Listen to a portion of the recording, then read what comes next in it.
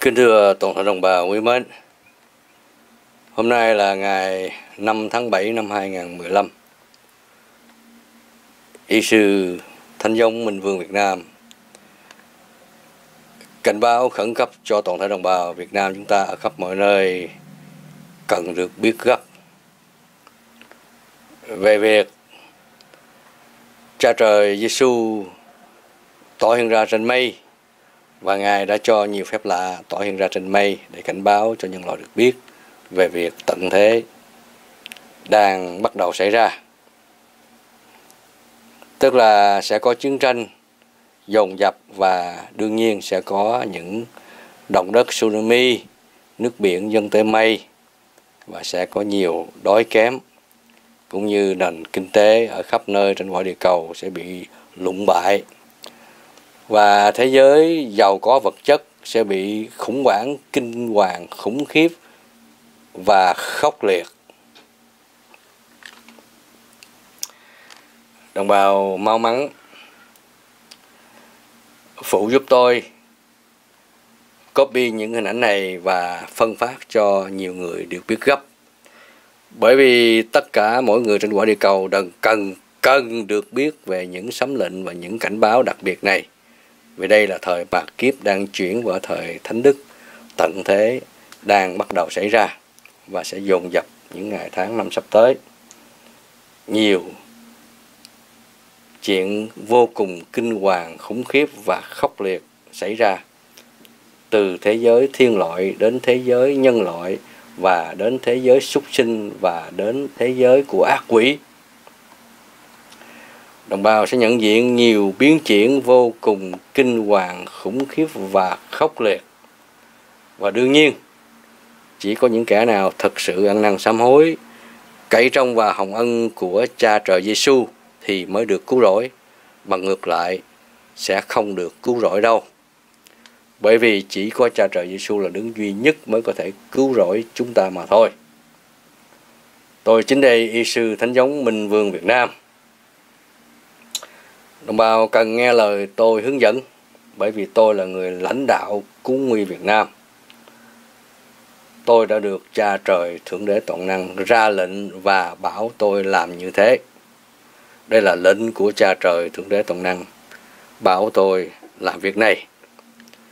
Lãnh đạo cứu nguy Việt Nam và đồng thời lãnh đạo làm việc góp phần cứu nguy nhân loại đồng bào nhớ mau mắn nghe lời tôi khuyên bảo và hướng dẫn. Đặc biệt, những người đang nắm quyền ở tại Việt Nam, hãy mau mắn trao quyền lãnh đạo đất nước Việt Nam do chính tôi, y sư Thánh giống Minh Vương Việt Nam, làm việc cùng đồng bào gấp. Và nếu những kẻ nào khinh thường sấm lệnh này và không nghe lời tôi hướng dẫn thì những kẻ đó những người cộng sản đó lần lượt sẽ bị hàng triệu triệu anh hùng chiến sĩ trận vong, tiêu diệt trong những ngày tháng năm sắp tới. Và cũng như sau khi chết, linh hồn sẽ bị nhốt chung với ác hồn quỷ râu xanh Hồ Chí Minh Nguyễn Tất Thành, Nguyễn Sinh Cung. Nhớ những gì tôi cảnh báo ngày hôm nay, tôi chính đây y sư Thánh giống Minh Vương Việt Nam. Người mà đồng bào Việt Nam chúng ta đã mong chờ hàng nhiều thế kỷ vừa qua.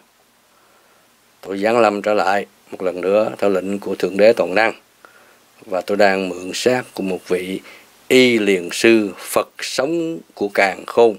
Đó là y sư nhạc sĩ Trần Quang Đại Việt Vương Đạo. Đồng bào may mắn nghe lời tôi hướng dẫn bởi vì tôi chính đây, Minh Vương Việt Nam, người lãnh đạo cứu nguy Việt Nam và đồng thời là người lãnh đạo góp phần cứu nguy nhân loại. Đó là lý do tại sao tôi nhận được những sấm lệnh quan trọng nhất thời bây giờ cho đến ngày tận thế. Cũng như đó là lý do tại sao tôi chụp được những hình ảnh đặc biệt này khi hướng dẫn đồng bào cầu nguyện ngoài trời. Đồng bào mau mắn vào trang website để học hỏi và đồng thời phân phát những hình ảnh phép lạ này đến cho tất cả đồng bào nhân loại được biết gấp. Không được phép chậm trễ nữa. đây là sấm lệnh của Thượng Đế và đồng thời đương nhiên của Minh Vương Việt Nam, người mà đồng bào đã mong chờ hàng nhiều thế kỷ vừa qua. Đây là địa chỉ liên lạc của tôi. Y sư Thánh Giống kính chào tạm biệt.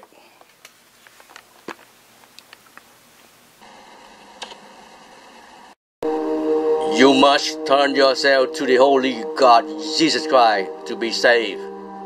Remember that. World War III will happen soon. Many nations will be sink in the ocean.